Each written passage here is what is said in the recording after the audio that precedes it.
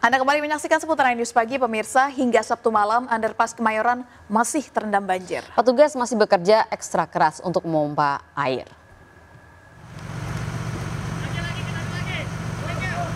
Ya, baik pemirsa, sampai saat ini petugas dari Dinas Pemadam Kebakaran Jakarta Pusat bekerjasama dengan Kementerian PUPR, Sudin SDA, dan beberapa instansi terkait masih berusaha untuk mengurangi debit air yang saat ini masih menggenangi terowongan atau underpass Kemayoran setinggi sekitar 3 meter. Artinya, berdasarkan informasi yang kami dapat bahwa uh, hal ini uh, sampai saat ini terjadi penyusutan air atau debit air setinggi satu setengah meter sejak uh, dilakukannya upaya penyedotan sejak Jumat malam memang berdasarkan informasi yang kami dapat bahwa proses penyedotan atau pengurangan debit air sempat terkendala akibat hujan yang masih kerap mengguyur di area Jakarta Pusat. Hal ini sedikit menyulik, menyulitkan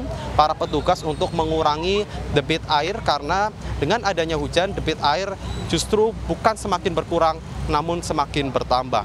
Selain itu, pemirsa, rencananya setelah uh, air atau debit air disedot oleh mesin pompa, kemudian air akan dialihkan menuju ke drainase terdekat yang nantinya akan dialirkan ke Sungai Sentiong yang berjarak sekitar tiga setengah kilometer dari tempat di mana saat ini saya berdiri atau lokasi banjir.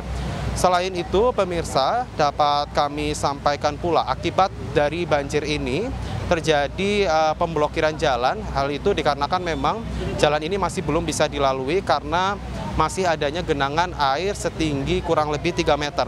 Hal ini membuat petugas mengalihkan jalan di mana hanya satu jalan yang bisa dilalui yaitu jalan konvair di sisi timur. Sementara jalan konvair di sisi barat diperuntukkan untuk uh, parkirnya mobil-mobil uh, mobil-mobil alat penyedot atau mobil-mobil pompa. Berdasarkan uh, informasi yang kami dapat dari petugas pemadam kebakaran Jakarta Pusat, petugas pemadam kebakaran sendiri uh, bersama dengan instansi lainnya menargetkan uh, proses uh, penyedotan bisa berakhir pada Jumat pagi. Artinya mereka mengharapkan Jumat pagi kondisi di terowongan atau underpass Kemayoran bisa kembali normal dan uh, dilalui oleh masyarakat. Namun hal ini masih melihat dari kondisi cuaca yang yang saat ini masih kerap dilanda hujan. Dari Jakarta, Vito Erlangga, Sadu Santo, iNews melaporkan.